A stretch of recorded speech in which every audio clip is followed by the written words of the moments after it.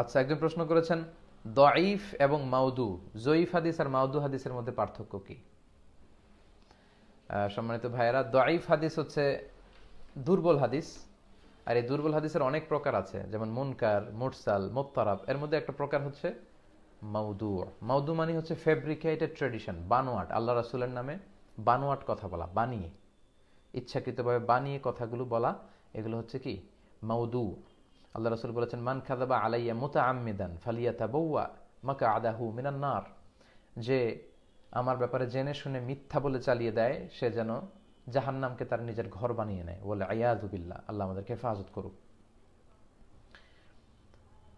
তো দয়ীফ হাদিস হচ্ছে আমি ভেবেছি যে দয়ীফ হাদিস মোস্তালাহুল হাদিস নিয়ে হয়তো কিছু সিরিজ আলোচনা করলে, লেকচার করলে আপনারা এগুলো বুঝতে পারবেন। অল্প সময় এগুলো বোঝানো সম্ভব না। সহজ কথা হচ্ছে, একটা হাদিস সহি হওয়ার জন্য অনেকগুলো শর্ত আছে। যেমন ইত্তেসালুসানাদ যারা বর্ণনা করেছে এই চেইনটার মধ্যে গ্যাপ থাকতে পারবে না। তারপর, যারা বর্ণনাকারী, তারা আদেল হতে হবে, ন্যায়পরায়ণ। তাদের দপ থাকতে হবে মেধা শক্তি ভালো থাকতে হবে, সাজ হতে পারবে না আল্লাহ হতে পারবে না। এই পাঁচটার কোনো একটা বা একাধিক যদি নষ্ট হয়ে যায়, তখন হাদিসটা কি হয়ে যায়? দাইফ হয়ে যায়, দুর্বল। আর মাউদু হাদিস হচ্ছে বানোয়াট কথা। তো অনেকেই ইদানিংকালে বলে থাকে যে হাদিসটা সহি কিনা? জানতে চায় আর দয়ীফ হলে এটাকে মানতে চায় না, নাক ছিটকায় এটা কিন্তু ঠিক না। অল্প পড়াশোনা করে যখন আপনি কোনো জটিল বিষয় নিয়ে কথা বলতে যাবেন, মন্তব্য করতে যাবেন, তখনই আপনি বিপাকে পড়বেন। এজন্য যারা আমরা অল্প জানি, তারা যেন না জেনে কারও ভুল ধরতে না যাই। আমি পার্সোনালি কারও ভুল ধরতে খুব ভয় পাই।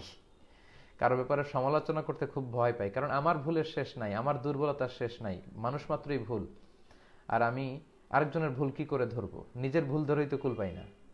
তো এই অ্যাটিচিউডটা খুব খারাপ। প্রয়োজনে অপ্রয়োজনে মানুষের ভুল খুঁজে বের করার চেষ্টা করা। দয়ীফ শুনলে অনেকে নাক ছিটকায়। দয়ীফ হাদিসের হুকুম জেনে নেন। দয়ীফ হাদিস আল্লাহর সিফাতের ক্ষেত্রে বর্ণনা দেয়া যাবে না। আকিদার ক্ষেত্রে বর্ণনা করা যাবে না। শরীয়তের কোনো আহকাম রুলিং কোডিং সিস্টেমের ক্ষেত্রে বর্ণনা করা যাবে না। কিন্তু কোনো ঘটনা পরম্পরা জুড়ে দেওয়ার জন্য বর্ণনা করা যাবে। ফাজাইলুল আমালের ক্ষেত্রে বর্ণনা করা যাবে। এক্সট্রা ইনফরমেশন হিসেবে বর্ণনা করা যাবে। এমনকি দয়ীফ হাদিস যদি অনেকগুলো ওয়েতে বর্ণিত হয়, এটা যারা আলেম তারা বুঝবেন। সাধারণ কনভেনশনাল স্টাডি যাতে তাদের বুঝতে কঠিন হয়ে যাবে। হাদিসটা দয়ীফ খেয়াল করে শুনুন, হাদিসটি দয়ীফ কিন্তু এগুলো অনেকগুলো ওয়েতে এসেছে। বর্ণনার অনেকগুলো ধারা আছে, শাখা আছে, উপশাখা আছে। অনেকগুলো ধারায় বর্ণিত হওয়ার কারণে সাওয়াহে তাওয়াবে থাকার কারণে এটার দয়ীফ থাকে না। এটা একটু উপরের দিকে চলে যায়।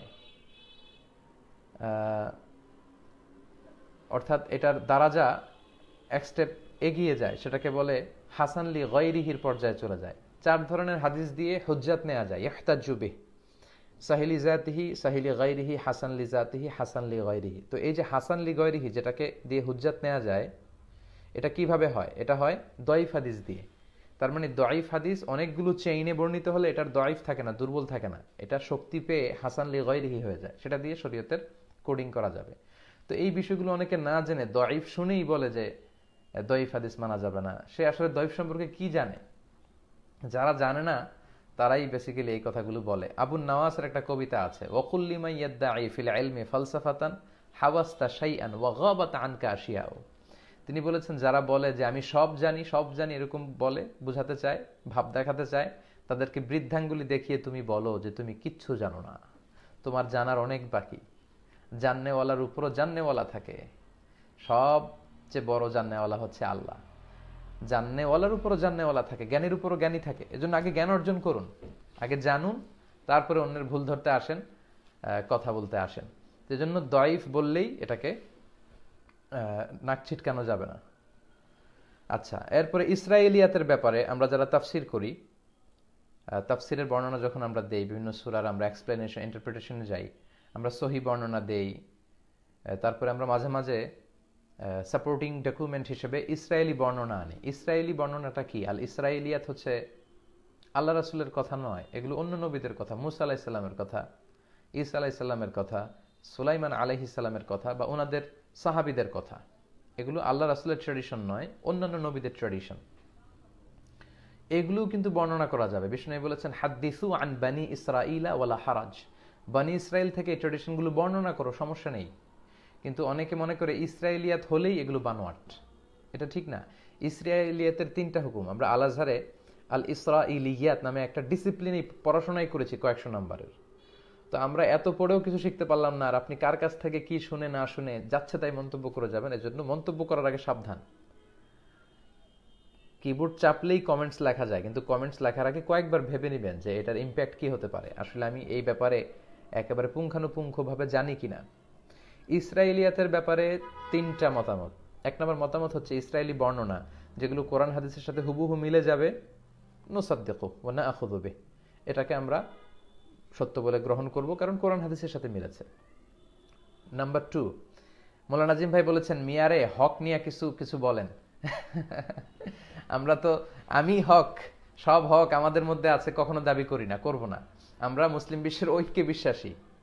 আমার আমি ছাড়া অন্যদের মধ্যে হক থাকতে পারে। আমরা ইন্টারচেঞ্জ করব, জ্ঞানের কথাগুলো আদান প্রদান করব মিউচুয়াল রেসপেক্ট রেখে। আমি যে দল, যে আইডিওলজি বিলং করি না কেন আমি আমার অন্য দলের, অন্য মতের ভাইদের প্রতি পূর্ণাঙ্গ শ্রদ্ধা রাখি এবং এটাই হচ্ছে ঐক্যের নিয়ম। কিন্তু যারা ছোটোখাটো বিষয় নিয়ে সমাজের মধ্যে ফাটল তরায়, ফাটল তৈরি করে, এক সমাজে আলাদা আলাদা মসজিদ বানায়, ছোট্টখাট্ট বিষয় নিয়ে ভাই ভাই বিভেদ, সামাজিক সম্প্রীতি নষ্ট করে সহি সুন্নার নাম দিয়ে, আমরা অবশ্যই সহি সুন্নাকে প্রমোট করি সব সময় ইসলাম ইসলাম তো মানতে হবে বিশ্বনবীর সুন্না অনুযায়ী। কিন্তু সেখানে মানুষের মধ্যে ফাটল ধরিয়ে না এক্সট্রিম অ্যাপ্রোচে যেয়ে না। আল্লাহ আমাদেরকে বোঝার তৌফিক দান করুক। তো বলছিলাম, ইসরায়েলিয়াতের তিন পদ্ধতি। এক হচ্ছে কোরআন হাদিসের সাথে মিলে গেলে গ্রহণ করব। কোরআন হাদিসের মোখালেফ হলে বর্জন করব। নাম্বার তিন ইসরায়েলিতের কোনো বর্ণনা, এটা কোরআন হাদিস সাপোর্ট মানে কোরআন হাদিসের অনুকূলেও না, কোরআন হাদিস এ ব্যাপারে কিছু বলেও নাই। আবার এটা যে মিথ্যা, এই ব্যাপারেও কোরআন হাদিসে কোনো কথা নেই। তার মানে এটা সত্য কি মিথ্যা? এ ব্যাপারে কোরআন সন্ন্যায় কিছু পাওয়া যায় না। এগুলো কি করবেন? এগুলো বর্ণনা করবেন। ঘটনা পরম্পরা মিলানোর জন্য এগুলোকে এক্সট্রা ডকুমেন্ট হিসেবে নেবেন এবং বলে দিবেন যে এটা ইসরায়েলি বর্ণনা। আমরা তো সেটাই করি। বিষ্ণু বলেছেন, হাদ্দিসু আন বানি ইসরায়েল বনি ইসরায়েল থেকে বর্ণনা করো। অর্ডার আপনি ঘটনা মিলাতে হলে সোলাইমান আলি সাল্লামের অল্প কিছু কথা আপনি কোরআনে পাবেন। ইয়াহিয়া আলাই সাল্লামের দু চারটা আয়াত পাবেন কোরআনে। কিন্তু তার পুরো জীবনীকে আপনি মিলাতে হলে কীভাবে মিলাবেন?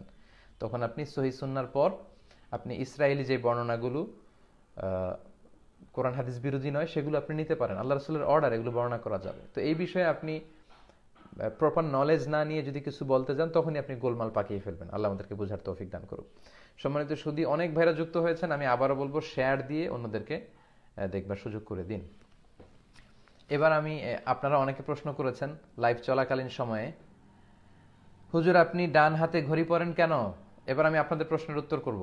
ডান হাতে ঘড়ি পরি, কারণ আমি ডানপন্থী। সব নবীরা ছিল ডানপন্থী।